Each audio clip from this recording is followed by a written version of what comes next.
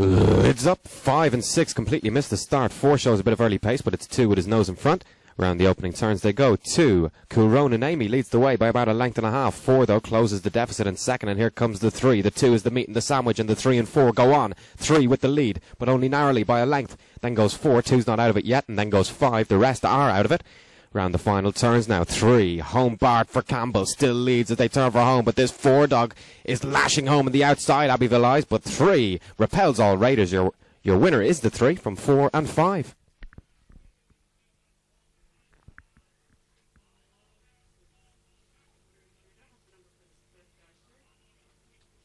Three-year winner, Home Bart. The winning time, 30 27.